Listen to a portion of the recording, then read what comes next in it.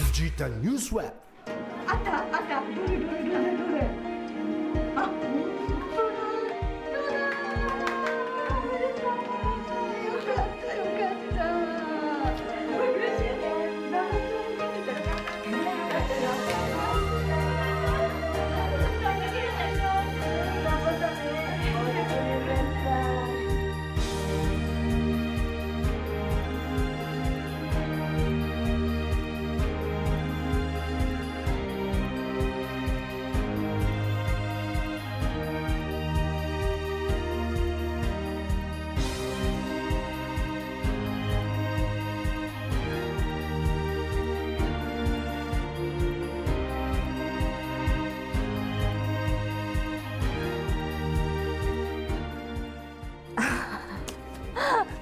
言葉言葉で全部は表現できないと思いますがとても嬉しいです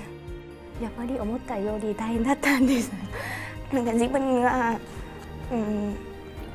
でき、うん、行きたいとこまで行けなかった時やなんか世間の結果があんまり良くなかった時は、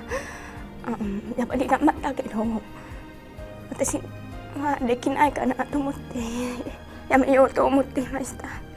けどお友達の支えや父方の支えもありましたから本当にありがとうございました、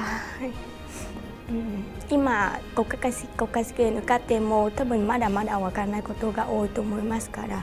もっともっと勉強していい看護師になりたいと思っています。特に日本の医療はすごく発展しているから日本の医療をもっともっと勉強したいです